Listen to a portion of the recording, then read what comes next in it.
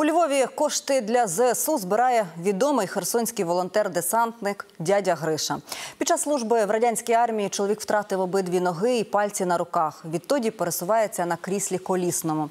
2014 року волонтер нам допомагає військовим. Коли почалося повномасштабне вторгнення, теж не залишився осторонь і розпочав свій тур Україною. Завітав і до Львова, аби зібрати донати від небайдужих людей. Скільки вже зібрав та які міста ще планує відвідати у сюжеті Оксани Ясницької. Цей день я, як кажуть, як зазвичай їхав е, для е, того, щоб збирати кошти. У нас був є так- такий торговий центр, був е, фабрика. Я їхав туди на місце своєї локації.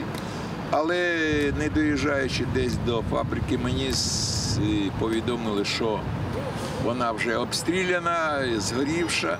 Саме так розпочався для дяді Гриші перший день повномасштабного вторгнення. Але навіть обстріли не зупинили волонтера на шляху до його місії. Він просто змінив локацію і продовжив збирати кошти на підтримку ЗСУ. Навіть під час окупації Херсону, де він прожив більше 50 років, він, попри страх і ризик, все одно волонтерив.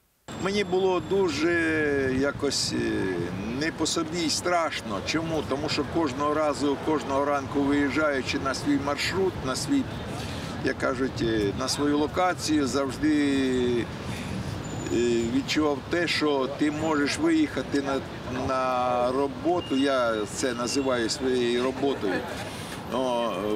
О, виїжджаючи на роботу, ти розумів, що можеш і не повернутися назад. Його відео у соцмережах стали прикладом незламності українців. Згодом у вересні 22-го дядю Гришу евакуювали до Запоріжжя, де він протягом року продовжував збирати кошти.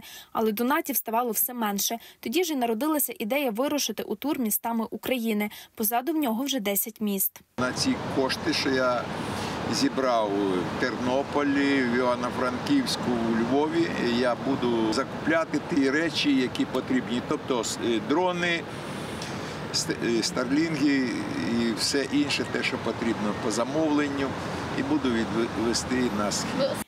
Дядя Гриша станом на сьогодні опікується кількома бригадами. Працює по запитах частин, закупляє, відвозить усе самостійно. За час своєї волонтерської діяльності йому вдалося зібрати понад 7 мільйонів гривень.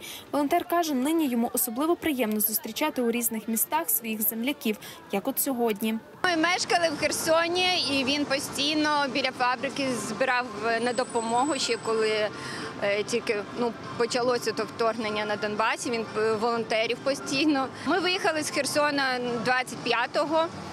лютого. Ну з дітьми. То я вже два роки не була в Херсоні. Тому так якось приємно.